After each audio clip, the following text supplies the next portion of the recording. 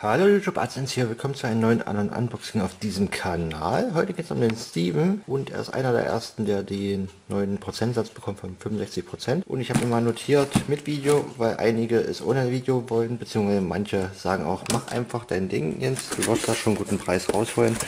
Und das erspart mir sehr viel Arbeit. Danke an die Leute, die nicht unbedingt ein Video dazu brauchen, die einfach nur ihre Karten verkaufen wollen weil es, sind einige angekommen. Ich schwenke hier mal so rüber. Seitdem ich gesagt habe, ich zahle mehr, kommt natürlich auch mehr rein und deswegen ein größerer Zeitaufwand. So, altes Zeug, Nostalgie, Part 1. Ach, er hat sogar gestaffelt neues Zeug, Commons Rest.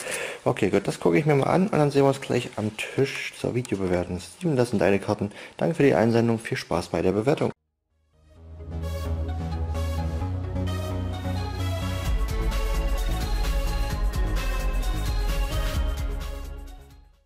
Jetzt bin ich hier bei dem Steven am Tisch. 1700 Kamm, 17 Euro, 200 US, habe ich schon vorher rausgefiltert. Und das ist so der Rest, den wir noch uns angucken können. Fangen wir doch mal an bei den Super Rares. Wie gesagt, jetzt sind wir hier bei 56% äh, Ankaufwert im November. Und gucken wir doch mal DCR. Ich glaube, so eine alte Holo im guten Zustand geht ein bisschen was. Bei der weiß ich gar nicht. Hat jetzt halt Reprints, ne? Dieses Duelist Pack aber viele alte dabei. Ich glaube, den Manticore kriegt man von Euro los. Der Movie Pack, äh, ich glaube, der geht auch noch was. Ah, der ist nicht so im guten Zustand, ist eher so im Good Zustand. Oh, hier haben wir eine CP-Holo, aber ich glaube, die ist auch nicht so teuer. Die, dafür kriegt man Euro. Das war ja mal eine Zeitdeckkarte äh, im, im Necros-Format. Dafür kriegt man Euro. Dann wir haben hier SHVA ein bisschen was, aber ich glaube, naja gut, so die spielbaren Sachen können wir euch mal mit 50 Cent bewerten. Die kriegt man sicher öfters los. Hm, DR3 DDV nehmen wir auch mal mit rein. War ein langer Montag. Ich muss gucken, dass ich hier nicht zu viele Fehler mache. Ansonsten bin ich immer wieder erfreut, wie viele von euch mitmachen und helfen wollen. Ich glaube, das Dorf kriegt man zurzeit für 2 Euro los. Das Bambusschwert ist eigentlich auch ziemlich cool. Ja, also ein aktiver Spieler, das Steven hier auf jeden Fall. Hat einige schöne Sachen am Start. Da haben wir noch eine Allure. Ich glaube, die kriegt man für 2 Euro los aus Daza. Die Hornet Rose, ja, die sind auf 1. Ich glaube, die müssen wir nicht unbedingt mitbewerten. Ansonsten mal gucken. Viel Bulk. Ähm, Sofu, ist die was? Ne, ich glaube, das ist auch mehr Bulk. Die Poli aus dem Duelist Pegasus, auch der Riegner kriegt schon noch einen Euro für. Spiegelkraft können wir rauspacken, Red Reboot kriegt man Euro für. Oder mittlerweile schon zwei, ne? Da war der Markt jetzt auch kleiner geworden. Noch eine Spiegelkraft. Ich hoffe, ihr versteht mich gut. Das ist gerade mal ein Test äh, mit dem Mikro. Ich glaube, die gehen Euro in Superhöhe. Äh, weil es die letzten Male doch ziemlich blöd sich immer angehört. Hier die ganzen Palios, auch wenn manche nicht davon gebraucht werden und manche, ich packe es mal alle auf 50 Cent. Nee, ich hoffe, ihr versteht mich gut. Ich habe das Mikro mal ein bisschen weiter weggemacht, weil das hat die letzten Male so, wenn ich hier am Tisch saß, ziemlich dolle geknistert und gerauscht und diesmal habe ich es ein bisschen weiter weggemacht. Mal gucken, ob das dann klappt mit der Einstellung. Nicht, dass es zu weit weg ist. Ich, das, da muss ich hier noch ein bisschen tüfteln dran, dass das gut läuft. Underclock Taker, da kriegt man Euro für ein Superware und der Rest ist aber alles nicht so, ne. Hm, Cashake, ich glaube, die können wir auch mal rauspacken. So ein Phoenix geht mittlerweile seine 2, so eine Shizuku geht glaube ich auch schon an Euro, noch ein Phoenix. Und ein Cerberus, der ist nicht ganz so teuer. Ein Hayate, packen wir auch mal raus. Ah, er hat es auf jeden Fall schön nach Farbe sortiert, das gefällt mir schon mal. Ja, so ein äh, Shambara, pack mal raus. Upsala. Äh, da war ich gierig. Zu viel in der Hand genommen. Die schöne Ordnung dahin. Ich glaube, die geht 2. Die Kugeln gehen so um die 3.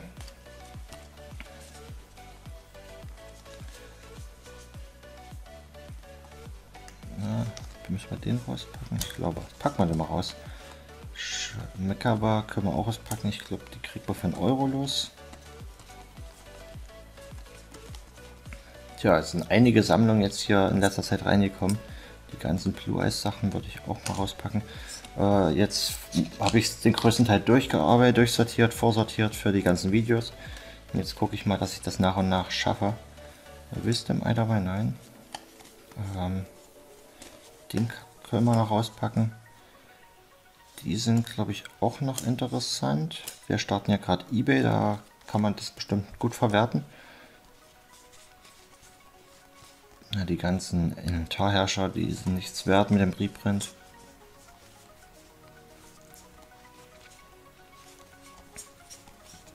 Anyway.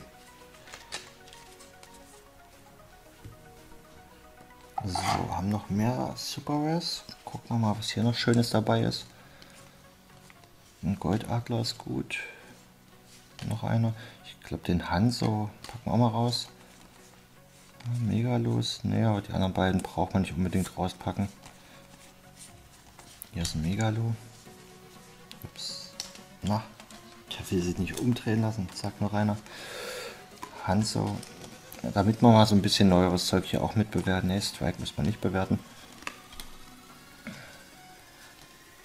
Tja, ansonsten Regionals in Halle sind vorbei, war ein voller Erfolg. Wir hatten 89 Spieler. Das war mehr als gedacht. Ich glaube, die geht so 2 die Dupli, oder? Invocation geht auch. Nee, es geht, geht glaube ich ein bisschen mehr.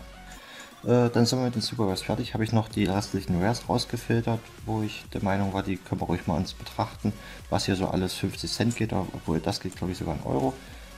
Äh, die Charity geht ein Euro. Der Pro geht, glaube ich, sogar gerade 2 durch das Dark FTK. So.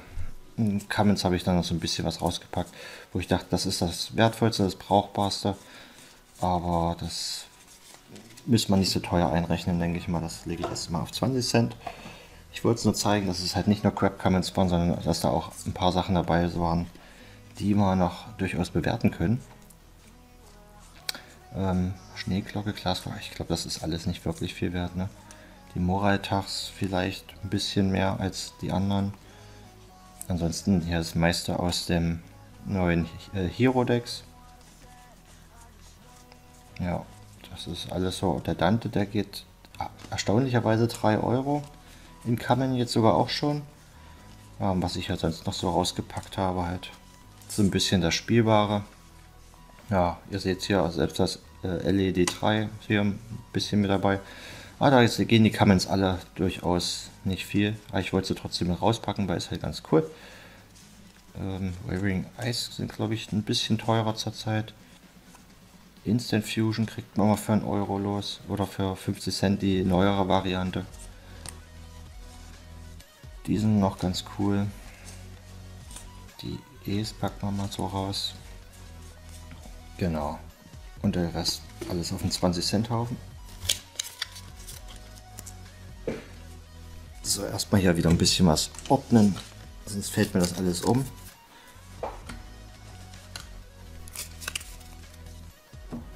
Na. So, weiter geht's. Was haben wir jetzt noch so? Ähm, Secrets sehe ich hier. Ja,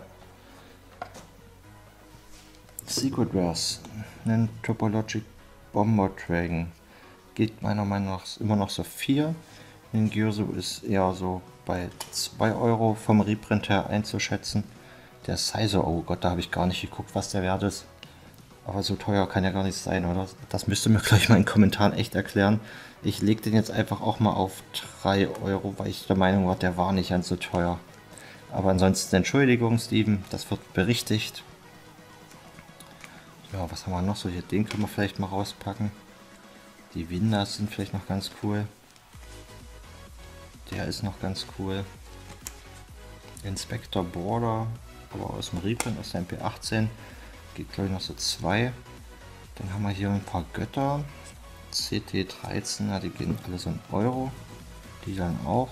Den Inzi aus der BLR, hm, ich glaube auch nicht viel mehr. Das ist so eine schöne Ebay-Karte. Hier haben wir nochmal die Ancient Cloaks. In Secret Web kriegt man ein bisschen mehr dafür. Und die Silent Boots packen auch mal raus. Ja, ist hier noch irgendwas dabei? Fällt euch was auf? Habe ich eine Quandax, ist ja viel wert. Aber Den braucht man ja eigentlich auch erst, wenn der Needle Fiber zu uns kommt. Ne? Wenn man den dann überhaupt noch braucht. Also vielleicht ist dann die Zeit auch abgelaufen. Es gibt bessere Alternativen. Ähm, den Alistair können wir rauspacken. Hier haben wir noch eine Clock in Secret Rare. Die haben sie jetzt auch öfters reprintet, als es notwendig war. Eine Hate Grenade. Ja komm, die packen wir auch mal raus. Union Hanger. Na, ihr seht's. Also vieles neues Zeug. Ähm, eine Navigation. So, das war's mit den Secrets. Dann kommen wir jetzt zur SOI, so diesen zweiten Götterkarten. Ähm, hm, was sind denn die zurzeit wieder wert? Also vom Zustand her sehen sie nicht so pralle aus. Naja, ich sag mal 3 Euro das Stück, aber vielleicht geht, geht der Uri ja auch 20. Ja, ich glaube, der in Ultimate war teuer, aber der in Ultra, weiß ich nicht. Es ist auf jeden Fall so mehr Good oder Excellent Zustand. Der Doomfire ist, glaube ich, was wert. Dann haben wir hier noch eine Dark Revelation 2 Karte, ist auch ganz cool. Der Strike Ninja, naja, hat so viele Reprints, muss man auch nicht mehr drüber reden. Äh, die Dancer, ich glaube, die waren zuletzt bei 8, wie ich es richtig im Kopf habe. Ähm, hier noch so ein paar alte Sachen, so Mega-Wandler, SRL ist ganz cool. Dark Revelation 2 packbar, das alles mal so auf 2 Euro. Das sind ja echt ganz coole Sachen, die alten. Den Judgment MRD im guten Zustand, aber wahrscheinlich hier jetzt aus dem Reprint aus der LC01 gezogen. Hm, würde ich mal jetzt so bei 6 Euro einrechnen. Noch eine Nightmare. Was ist das denn? Aus Sofune Ultra. Hm. Ach, das sind jetzt hier die ganzen aus dem Deck, die Sachen. Ich glaube, da ist auch nichts wirklich Tolles dabei. Der Rongo, der geht gerade 50 Cent, der wird öfters gekauft. Der äh, Phantom Knight vielleicht auch noch. Babuska können wir rauspacken. Hm. Oh, hier, Innoff, Ultraware. Ich glaube, der ging auch zu seine 3-4 Euro. Oder vielleicht geht er mittlerweile auch mehr. Sagt es mir gerne in den Kommentaren. Das ist ja so eine Sammlersache. Vielleicht übersehe ich jetzt wieder was. Ist natürlich keine Absicht. Aber das sind schon wieder tausend verschiedene Karten hier. Das ist unglaublich. Ähm, die Reprints von denen, ja komm, berechnen wir es mal mit 50 Cent. Ähm, der ein Euro. Gut. Danach geht es weiter mit den Ultras. Ganz viel BLR-Zeug. Hm, oh Gott, jetzt die ganzen. Ich glaube, der Michion war was wert. Und der Metalion, den haben sie jetzt gerade immer wieder gebraucht. Aber ansonsten ist da ja nichts Großartiges dabei, bin ich der Meinung. Und mein Laptop hat heute schon wieder genug. Gut, dass Weihnachten ist bald. Da wird sich mal ein neuer geholt. Einer, der ein bisschen mehr aushält. Oh, hier haben wir noch ein Magiebuch aus der MP18. Hm, ich glaube, es geht noch so zwei. Die Prep, die Pre-Prep können wir rauslegen. Eine Light Stage. War ja schon eine Light Stage dabei? War ja noch eine? Ne.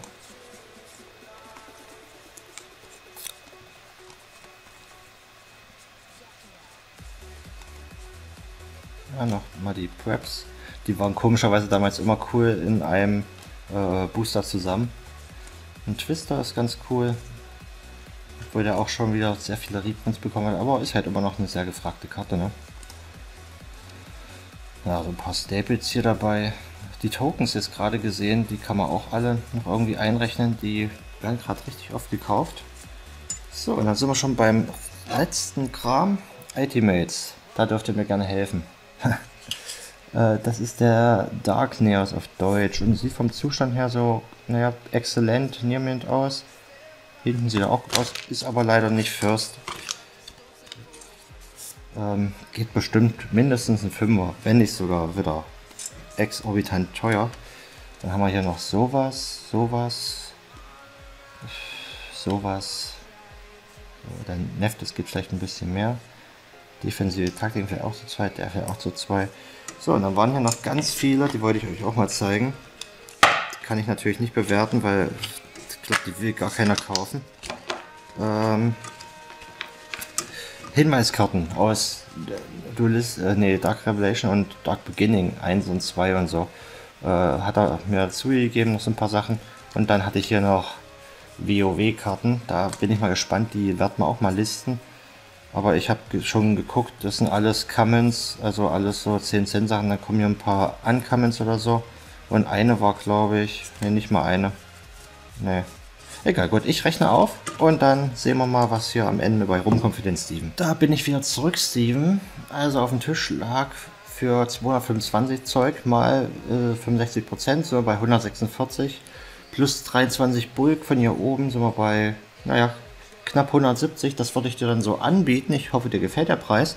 Melde dich ruhig mal über Facebook und jo, dann bis zum nächsten Opening. Ich hoffe, es hat euch Spaß gemacht zuzugucken. Lasst ein Like oder ein Abo da. Schaut vorbei, Market, eBay zum Verkauf, Ankauf, E-Mail oder Facebook. Und dann war's das. Ich wünsche euch einen schönen Tag. Macht's gut. Euer Jens.